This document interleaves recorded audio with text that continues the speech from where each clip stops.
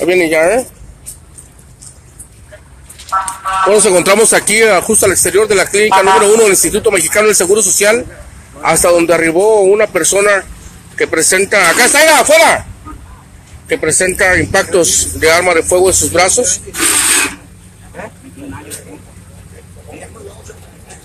Eh, en estos momentos, los socorristas de la Cruz Roja, así como elementos de la policía Nayarit, han arribado en su auxilio va a trasladar a este hombre que presenta algunos impactos de bala en sus brazos.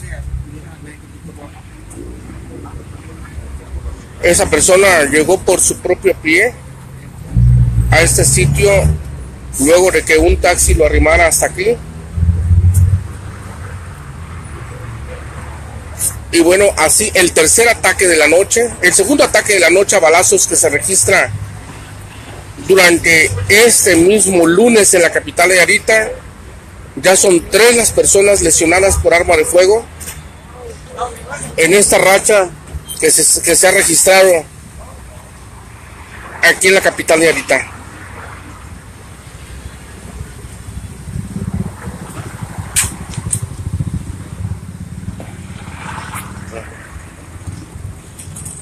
Son varios impactos de bala los que presenta este hombre en ambos, en ambos brazos.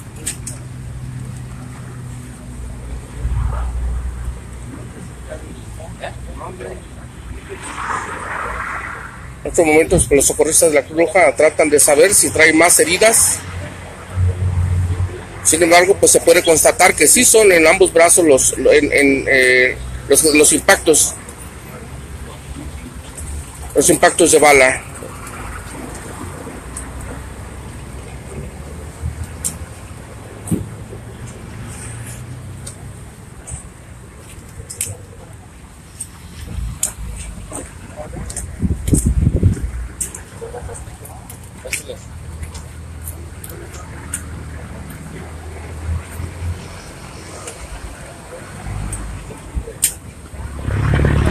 Estos momentos ya va a ser subido a esta ambulancia de la Cruz Roja este hombre de quien vamos a omitir su identidad. Sin embargo, bueno, pues lleva al menos tres impactos de bala en el antebrazo y, y en su mano izquierda tiene dos impactos.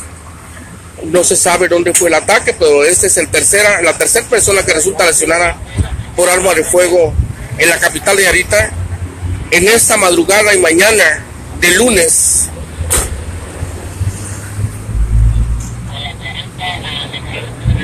Por lo que socorristas de la Cruz van a trasladarlo. Informa para tu página de noticias Miguel Ángel Urán.